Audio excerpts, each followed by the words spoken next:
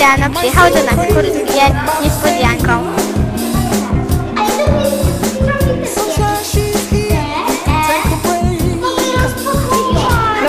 Wszystkie dzieciaki też pomagały rozpakkować tą niespodziankę.